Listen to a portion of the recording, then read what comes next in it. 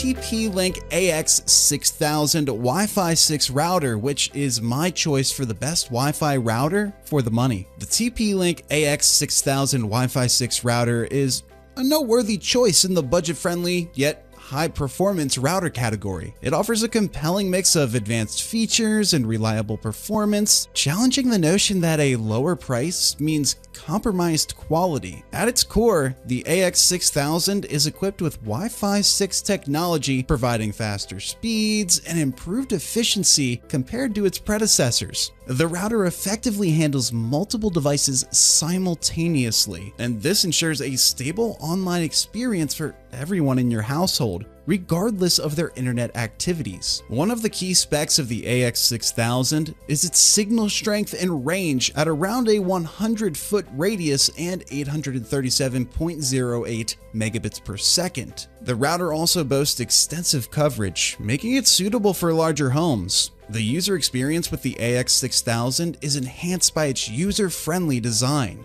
The setup process is intuitive and network management is simplified with the TP-Link Tether app, making it a practical choice for everyday users who may not be tech savvy.